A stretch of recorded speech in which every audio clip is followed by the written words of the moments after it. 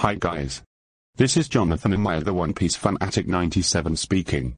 Since today is the 2nd of January 2024, I got a final message to everyone for my viewers.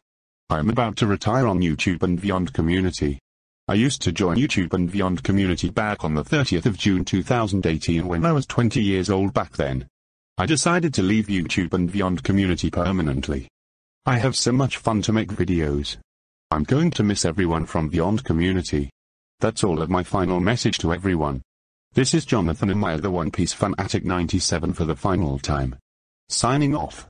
Goodbye everybody from YouTube and Vyond Community.